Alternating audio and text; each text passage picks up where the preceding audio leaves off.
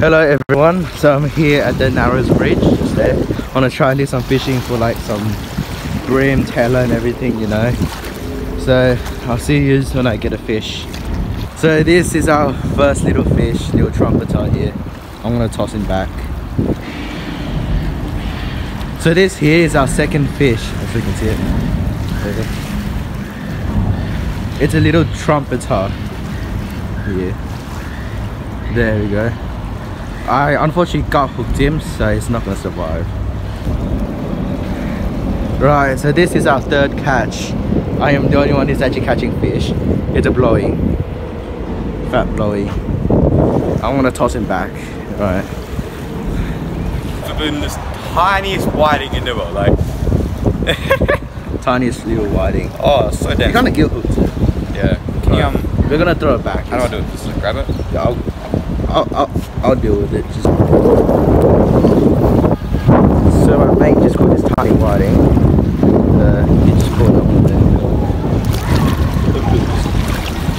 it. So we have just moved spots to the causeway as you can see here. My two mates fishing. he stopped that and I caught this bleeding massive uh, trumpeter. Pretty big one. I'm actually gonna keep it, it's actually decent. We caught we caught our first bream of the day. Finally on chicken. Fun- Yeah. It's, it, it's not the biggest, but Always on the chicken. I'm gonna throw it back. You know, fun. Yo, okay, well, like 10 minutes in.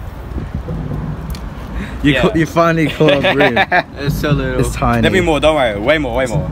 It's tiny. Honestly, the causeway is the most underrated spot ever. No one there. Don't say the spot. Oh, bro, it's the causeway, who cares? Shut up. I just caught another bream on the chicken. It's not legal, but I'll give you a look. There he is. Probably about 15, 20 centimeters. I want to chuck him back real quick. So I've just caught this nice little trumpeter here. I'm, I'm actually going to keep him. It's actually decent size. He'll make for some somewhat delicious food, I guess. So we've caught a lot of trumpeters so far. If I catch like more trumpeter, I won't film them because it's getting a bit boring, you know. So yeah, that's it. I'm, I'm actually gonna keep this one. It's actually a pretty decent one. So my friend Zach caught this another. James, can you shut up? Caught this somewhat nice bream. It's actually well done after a long while. It's too small to keep, so I'm gonna chug it back.